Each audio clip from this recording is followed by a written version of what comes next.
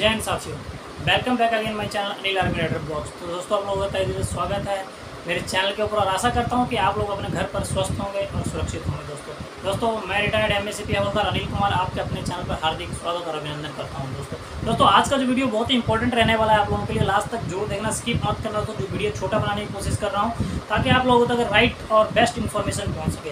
तो आज का जो वीडियो होने वाला है दोस्तों, वो होने वाला है जो है सी आर पी एफ़ का जो है रिक्रूटमेंट है 2023 का, जो आप यहाँ पर बोर्ड के ऊपर दिखाई दे रहा होगा, वो क्लियरली ठीक है? सीआरपी रिक्रूटमेंट 2023 इसमें दो वैकेंसीज निकली के दो मतलब कि पोस्ट निकल के आई हुई हैं और बहुत ही बेस्ट पोस्ट है दोस्तों। तो आप लोग ज़रूर इसके लिए ट्राई करें क्योंकि इसमें सिर्फ़ प्लस टू पास चाहिए सिर्फ़, ठीक है? और ये बेटर अपॉर्चुनिटी है आप लोगों के लिए। अगर आप लोग इसको अप्लाई करते हो यहाँ पर तो आप लोग यहाँ पर ज़रूर क्या है पैरामिलिट्री फोर्सेस के अंदर भर्ती ज़रूर हो जाओगे। और सबसे बड़ी बात ये है कि ये जो पोस्ट निकली हुई है, दो पोस्ट, एक हेड कांस्टेबल मिनिस्ट्रियल के अंदर निकली हुई है और एक निकली हुई है सब इंस्पेक्टर स्टेनो के अंदर। तो दोस्तों, दोनों ही पोस्ट बहुत ही इंपॉर्टेंट है आप लोगों के लिए प्लस टू जिन्होंने कर रखी है पास तो उनके लिए है बेस्ट अपॉर्चुनिटी तो चल रहे चलते हैं वीडियो के ऊपर। तो ना बात कर लेते हैं पहले हम पोस्ट नेम यानी कि हेड कांस्टेबल की पोस्ट हैं मिनिस्ट्रियल के अंदर और सेकेंडली है असिस्टेंट सब इंस्पेक्टर की पोस्ट है जो स्टेनो के अंदर है।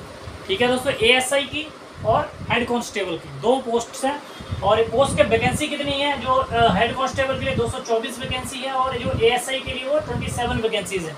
ठीक है ना? और सबसे बड़ी मज़े की बात दोस्तों ये है कि इसमें एज क्राइटेरिया बहुत ही बेस्ट रखा हुआ है। फोर्टी चालीस साल की एज मैक्सिमम चालीस साल। यानी कि आप लोगों के लिए तो बहुत ज़्यादा बेस्ट अपॉर्चुनिटी है जिन्होंने प्लस टू कर रखी है दोस्तों।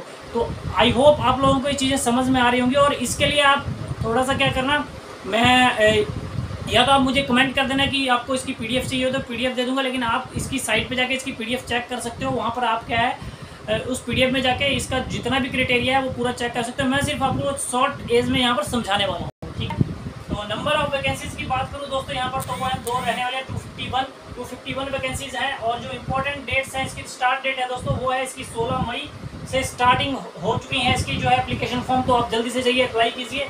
लास्ट डेट है इसकी 6 जून 2023 दोस्तों, यहाँ पर। और यहाँ पर जो सीबीटी का जो एडमिट कार्ड जो आएगा, उसकी डेट है 15 जुलाई 2023 तक आपका एडमिट कार्ड आ जाएगा। और कंप्यूटर टेस्ट आपका कब होगा, दोस्तों? सीबीटी टेस्ट आपका होने वाला है 22 से 28 जुलाई के बीच में, दोस्तों। जल्दी से जाइए, जल्दी से अप्लाई कीजिए ताकि जल्दी से आप यहाँ पर इसको क्रैक कर पाए, दोस्तों। नेक्स्ट बात करें, दोस्तों, यहाँ पर हम पे स्केल की। पे स्केल यहाँ पर क्या रहने वाला है? हेड कांस्टेबल मिनिस्ट्रियल का जो पे स्केल है, वो, दोस्तों मिनिमम पच्चीस और मैक्सिमम इक्यासी हज़ार सौ और इसमें बाकी जो दोस्तों पच्चीस हज़ार पाँच सौ स्टार्टिंग है, जो इसके अंदर अलाउंसेज वगैरह बहुत कुछ जुड़ता है, जो जाके आप पीडीएफ में जाके अंदर चेक कर सकते हो दोस्तों। नेक्स्ट बात करता हूँ मैं सब इंस्पेक्टर यानी कि एएसआई की असिस्टेंट सब इंस्पेक्टर की दोस्तों, जिसकी जो मिनिमम है उनतीस हज़ार दो सौ और मैक्सिमम है बानवे हज़ार तीन सौ। ठीक है दोस्तों? नेक्स्ट बात करता हूँ एजुकेशन की। एजुकेशन यहाँ पर रहने वाली है प्लस टू और एज रहने वाली है यहाँ फोर्टी ईयर फोर्टी ईयर्स यानी कि आपके लिए बहुत ज़्यादा बेस्ट अपॉर्चुनिटी है दोस्तों। जल्दी से जाइए, जल्दी से अप्लाई कीजिए। बहुत सारे दोस्त हैं, मेरे भाई हैं। जो कि इस चीज़ के लिए इंतज़ार कर रहे थे तो आपका इंतज़ार खत्म हुआ। जल्दी से जाइए और अप्लाई कीजिए दोस्तों। नेक्स्ट बात करता हूँ सिलेक्शन प्रोसेस सिलेक्शन प्रोसेस अब कैसे रहने वाला है? बहुत इंपॉर्टेंट चीज़ है दोस्तों यहाँ पर। तो सिलेक्शन प्रोसेस कैसे रहने वाला वो आपको बता दूँगा यहाँ पर। सबसे पहले यहाँ पर रहने वाला है सीबीटी टेस्ट यानी कंप्यूटर बेस्ड टेस्ट है वो आपका रहने वाला है फर्स्टली सेकेंडली होगा आपका स्किल टेस्ट यहाँ पर, जो स्किल्स चाहिए, उसका स्किल टेस्ट होगा दोस्तों। सेकंड थर्ड आपका यहाँ पर होने वाला है फ़िज़िकल स्टैंडर्ड टेस्ट यानी कि पीएसटी होने वाला है दोस्तों, ठीक है? उसके बाद चौथे नंबर आपका होगा डॉक्यूमेंट वेरिफिकेशन डॉक्यूमेंट वेरिफिकेशन के बाद होगा आपका डीएमई या आरएमई दोनों में से एक चीज़ होगी, यानी डिटेल मेडिकल टेस्ट होगा या रिव्यू मेडिकल एग्ज़ाम होगा। दोनों में से दोस्तों, एक चीज़ होगा। ठीक है? उसके बाद लास्ट अप्लाई मोड बता दो, इसका दोस्तों ऑनलाइन रहने वाला है। ठीक है? और जो जॉब लोकेशन दोस्तों रहने वाली है, वो ऑल इंडिया रहने वाली है दोस्तों। ठीक है? इसमें फ़ीस आपकी कोई नहीं लगने वाली है, इसलिए जल्दी जाके अप्लाई कीजिए। ठीक है? और वेबसाइट जो रहने वाली है दोस्तों, वो मैं बता दो आपको, जो R E C T dot C R P F dot G O V dot in पर जाके जल्दी से जाइए और अप्लाई कीजिए दोस्तों।